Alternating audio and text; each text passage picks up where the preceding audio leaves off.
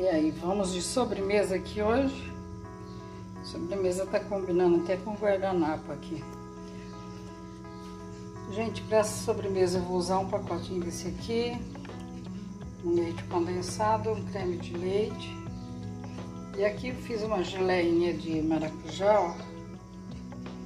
E aí eu vou pôr por cima.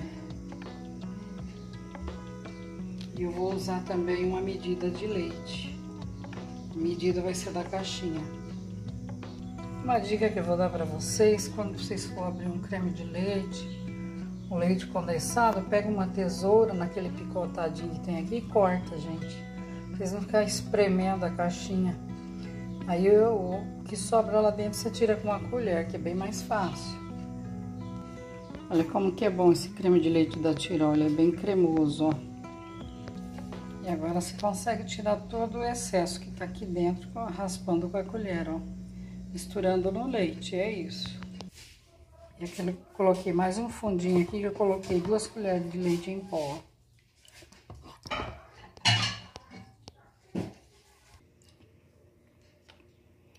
Olha, você bate por uns 4, 5 minutos. Olha já como que ficou, gente, ó. Sem gelatina, ó. Agora eu vou pôr pra gelar. Quando gelou, aí eu coloco aquela caldinha de geleia de maracujá que eu fiz aqui em cima.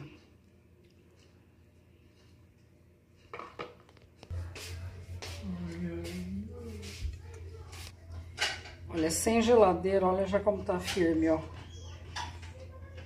Durinho, ó. Os ingredientes eu vou deixar na descrição do vídeo. Na hora que endurecer eu vou mostrar como ficou. Pessoal, já ficou durinho, olha.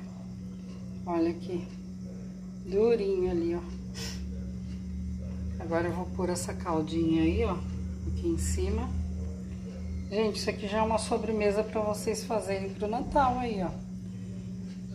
Gasta, eu acho que vai gastar o que? 12 reais para fazer essa sobremesa, ó.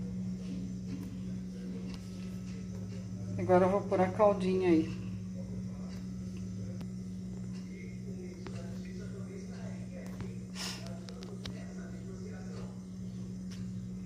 Olha aí que sobremesa deliciosa. Vamos ver agora se está bom isso aqui.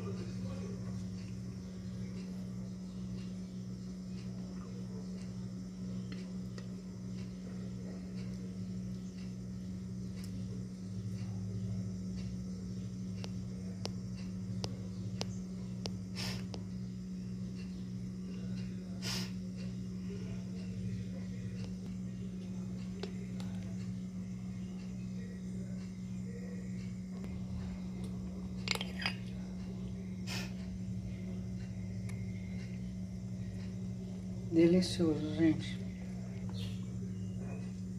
Delicioso, ó. Só falta gelar mais um pouquinho. Mas o sabor é delicioso.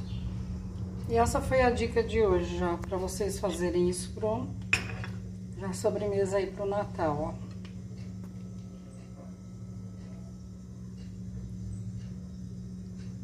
Espero que gostaram, se inscreve no canal. Dá joinha se gostaram. Fica com Deus. Até o próximo vídeo, a próxima dica. Tchau, tchau.